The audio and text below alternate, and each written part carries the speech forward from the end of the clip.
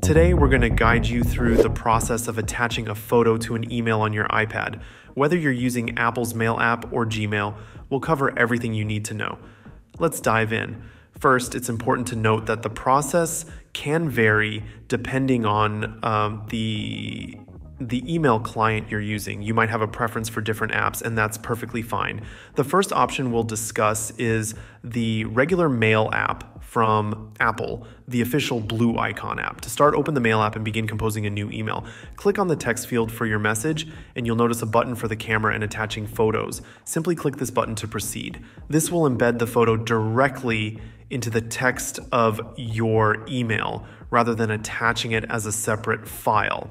If you tap on the photo, you'll see a few options. One of these options is Attach File, which opens up the Files app. If your photos are stored there, you're all set.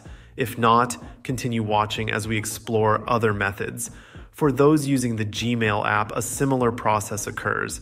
However, when you embed a picture and then tap on it, you can convert it into an attachment, which is often more convenient. Additionally, you can share photos to mail directly from your gallery. Let's break down how this works for different scenarios. If you're selecting one picture in Apple Photos and using the Share to feature via Gmail, um, you'll end up with a message containing one embedded picture. This means the picture will appear within the body of the email rather than as an attachment.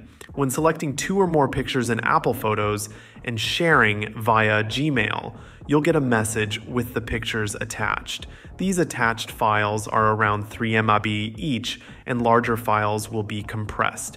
Sharing one or more pictures via the Mail app from Apple Photos results in an embedded image as well. The Mail app allows you to choose between different file sizes, including the original size. The process is similar when using Google Photos. Sharing one picture to Gmail results in an embedded image. Sharing two or more pictures yields attached files using the local copies of your Google Photos. If you choose to share one or more pictures from Google Photos via the Mail app, you'll again see the images embedded within your email with options to select different file sizes. In summary, knowing these specifics helps you decide how to best include photos in your emails. Whether they appear inline or as attachments can make a difference depending on your needs. Thanks for watching this tutorial on Foxtecc.